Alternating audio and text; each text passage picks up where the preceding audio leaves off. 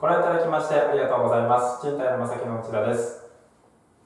本日は奈良市大宮町にございます、えー、お手軽な家賃の 1K 賃貸マンションファミユー新大宮ご紹介させていただきます。まず、えー、こちら病室のスペースとなっておりましてこちらおよそ広さ6畳ぐらいですので、えー、一般的な、えワンルームの広さとなっております。ベッドや、えテレビなどを置いていただいて十分お一人暮らし楽しんでいただけます。えこちらの部屋にはエアコンの方ついておりますので安心して使っていただけます。またバルコニーの方は南向きとなっておりまして日当たりが、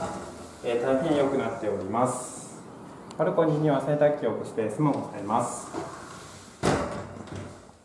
えそしてこちらの部屋の、え収納ですが開けていただければこのように、え服がかけられるようになっております。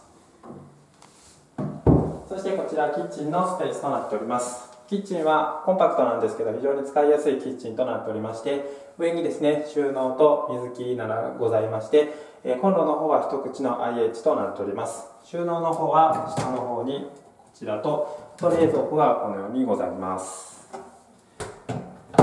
そして玄関のスペースですがこちら広さ十分ございまして横には下駄箱の方もついております。また、えー、お風呂トイレは、えー、洗面台と一緒になっているこのようにユニットバスタイプとなっております。はいそれではお部屋のご紹介はこれで終了いたします。気になる条件は賃貸のまさきのホームページをご覧ください。奈良のもてなしな心賃貸のまさきでは皆様のお部屋探しを全力でサポートいたします。ご視聴ありがとうございました。